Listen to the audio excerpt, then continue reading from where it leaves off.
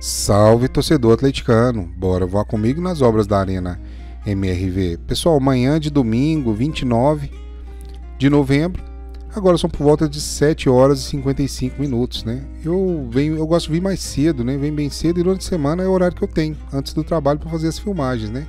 E hoje tem segundo turno na minha cidade, né? Moro na cidade de Contagem, logo aí, menos de um quilômetro aí para frente, na Via Expressa está a cidade de Contagem. Como tem segundo turno hoje, eu tenho que vir um pouco mais cedo. Daqui a pouco vou lá votar, né? E aqui, pessoal, a gente já percebe que fizeram mais uma tenda nesse local. Provavelmente ela foi movida um pouco daquela área superior ali, superior do vídeo, para o lado de cá. Cada vez mais é, o espaço vai ficando reduzido aí para o pessoal armazenar o seu equipamento, né? É, vai chegar momentos aí da obra que vão ter muitas coisas acontecendo. É, ao mesmo tempo eles vão precisar se organizar para armazenar tudo aqui. Essa imagem ficou muito bacana porque a gente vê no mesmo plano aqui três escavadeiras trabalhando simultaneamente, né? Tem essa no primeiro plano aqui, a tela começou a piscar porque eu estou no contra-sol aqui. Eu tenho que abaixar a câmera, senão dá sombra das hélices aqui na lente, né? Vou ter que vir pelo lado de cá, senão essa imagem vai ficar piscando para vocês que é a, a sombra da hélice girando e o sol pelo lado de, com o sol pelo lado de lá. Vou ter que virar um pouco mais para cá, aí reduziu a parte da sombra para a gente mostrar o que está acontecendo nesse momento. É um traba esse trabalho de, de, precisão nos cortes, vem acontecendo alguns dias já, né? Vou parar o drone bem em cima aqui da linha para vocês é, perceberem que é bem retinho aqui é o corte que é feito, né? Um trabalho de precisão mesmo. Toda essa linha aqui, ela é provavelmente original lá do projeto. Eles acabam fazendo esse corte né, é, sempre com um profissional ali no entorno da, do, da máquina, ele auxilia ali o operador que vai fazendo o corte, garantindo que tudo está dentro do projeto. Essa encosta também é um bom exemplo, né? vou aproximar um pouco mais para lado de cá, vir um pouco mais para cima da grade e todo esse corte também foi feito com precisão. Essa parte de cá ah, era uma portaria, né, pessoal? É, muitos equipamentos entravam por ali, ela foi desativada, né? Já não é possível trafegar mais por aquele local. Então vamos passando por aqui para seguir esses cortes. Quando a gente vem pelo lado de lá, a gente percebe o quanto fica retinho mesmo, né? Um trabalho fantástico e toda essa área ali abaixo desse corte ela deve ser removida e ficar no mesmo nível lá de baixo, onde o, naquele pátio onde os caminhões estão trafegando nesse momento, né? Como eu falei até outro dia, o Elmo Santos, um dos é, inscritos aqui no canal, ele disse que a capacidade de, dessas conchas é entre 2 e 3 metros de cúbicos, né? E tem umas maiores, outras menores que as outras, né? Vamos acompanhar um pouquinho aqui, essa imagem é bacana de mostrar e por menos acho, acho legal, né? Ela vai fazendo, vai molhando, já tem vários dias que não chove na obra, né? Então, para quem estava reclamando da lama, agora vai poder reclamar da poeira, né? Hoje, ontem a gente estava lá no caminhão da massa, cada vento que dava subia uma poeira enorme para cima da gente. Então, eles vão fazendo aí esse trabalho, é, irrigando essas vias de acesso, reduz um pouco também a poeira aí no tráfego para reduzir também o transtorno de quem mora no entorno aí da obra, né? Imagino que a poeira para quem mora ali, principalmente naquele bairro de lá, né, do Santa Maria, é, deve ser, deve ser é, difícil é, a parte da limpeza das residências, né? Porque aqui a gente está de cara para a obra. As, as pessoas estão do outro lado, como tem aquela encosta toda, acredito deve reter um pouco dessa poeira. Fica uma imagem legal do caminhão irrigando aqui na manhã desse domingo, mas vamos voltar aqui para a parte da esplanada. Ah, os rolos não começaram ainda os, os, trabalhos, tem cinco rolos na obra nesse momento. Aquele no primeiro plano, amarelinho, chegou ontem aqui na obra, estava bem limpinho, né? já está bem sujinho ali, porque ele trabalhou provavelmente de ontem para hoje. Temos quatro rolos de carneiro aí e um rolo liso, né? aquele que é usado para as pavimentações. Eu vi muita utilização dele quando estavam recuperando aquelas vias com pó de pedra, né? Ele não, aí não era utilizado aquele outro rolo, não.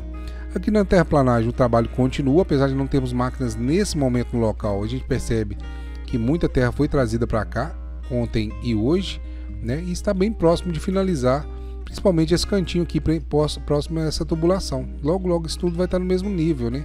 E vai ficar faltando só aquela beiradinha mais próxima à cabeceira do córrego.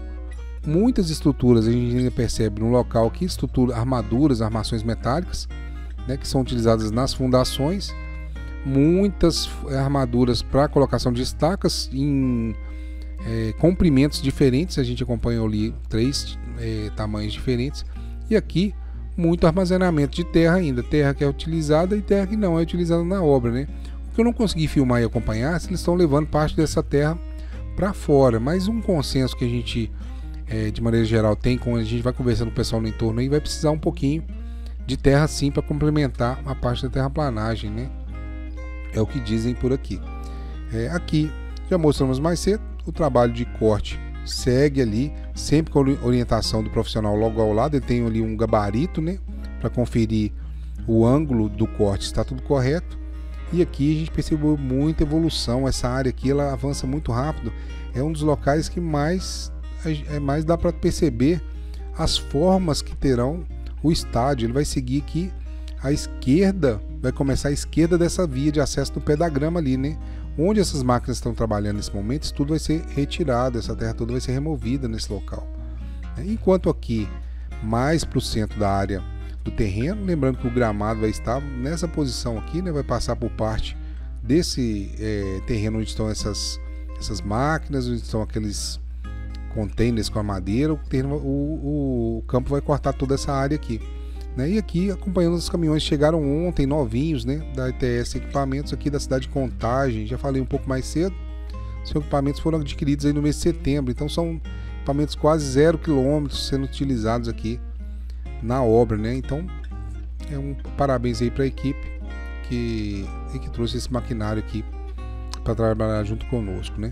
A perfuratriz, hélice contínua, nesse momento exato, ela não está trabalhando e não tem pessoal aqui no entorno. Talvez por estar tão cedo, né? E ou talvez não deva funcionar na data de hoje, né? Vamos aguardar aí no decorrer do dia se a gente acompanha o trabalho dessa máquina, né? Lembrando, né, que a própria TV Galo ou o site da Arena, agora não, não me lembro, não me recordo, diz que essa é uma das duas únicas máquinas desse porte no mundo inteiro e uma delas está aqui.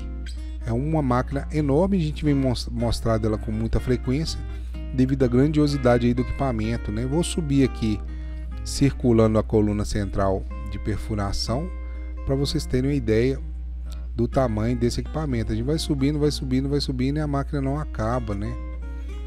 É, acredito, me disseram que são cerca de 39 metros de altura essa torre, né? Então não para de subir, a gente vai subindo com o drone aqui, circulando e é torre que não acaba mais.